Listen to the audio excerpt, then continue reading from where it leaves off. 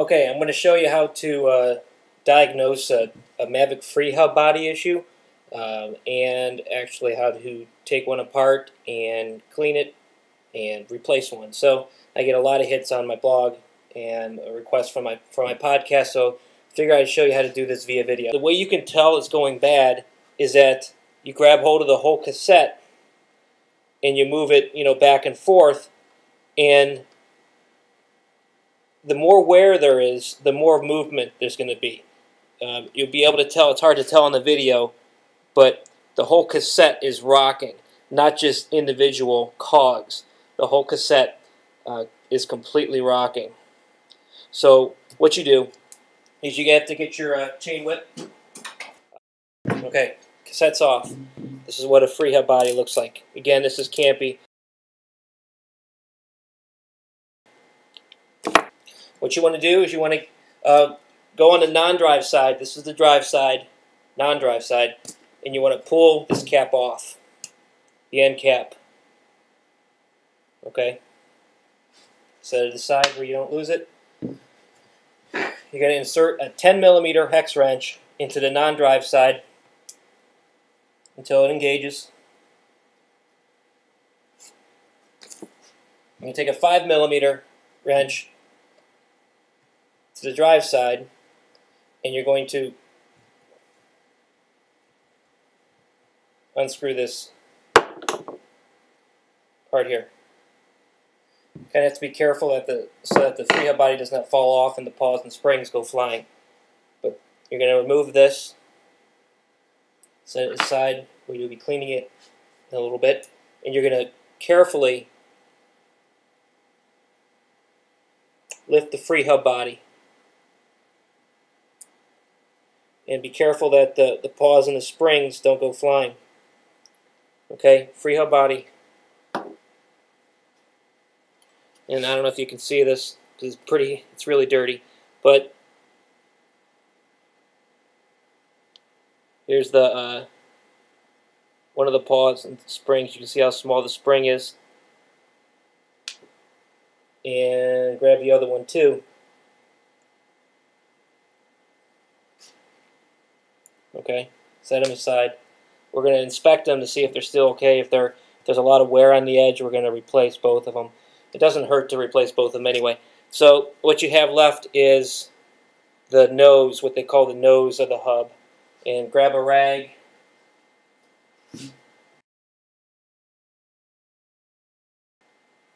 small washer that it sits right here on this bearing. So it goes between this bearing and the free hub body. Okay, when you put it back in. Okay. So we're going to clean this out really good. Okay, so we're going to clean this off. Once you get a lot of the grease out, want you to remove carefully the gasket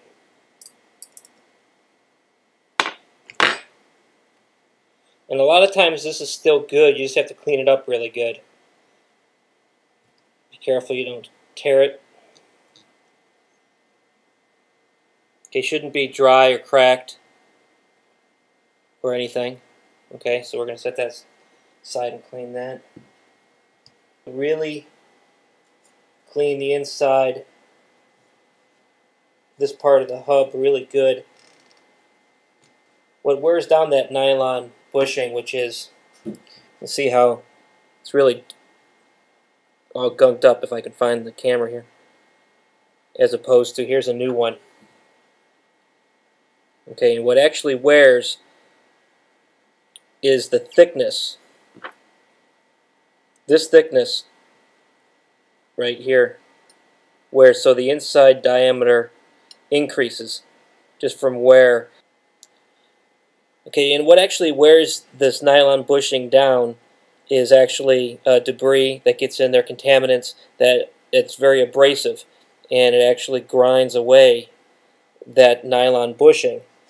And if if it gets really bad, it will actually grind away and decrease the outside diameter of this nose part that the bushing rides on. It's not a bad design. It's just something that has to be maintained. Um, this doesn't happen that off that often, but it does happen. Uh, so the reason, I mean, if the, if it wasn't worn and you weren't getting the the um, the play, the side play, what you want to do is really clean this up, really good. You can use uh, you can use some rubbing alcohol, clean it up. Again, try to keep anything away from the bearing inside there because the bearing is not, uh, well, technically, if you ask Mavic, they say the, the bearing isn't replaceable, but uh, it, does, it takes a lot for that bearing to go bad. So you want to clean that up. But in this case, we're not going to be using this anymore. And what I'm going to do is, with these pawls and springs, to get a better look at them, at the condition, I'm going to actually, I'm going to put all these small parts in my parts washer, my ultrasonic parts washer, and uh, I'll be right back.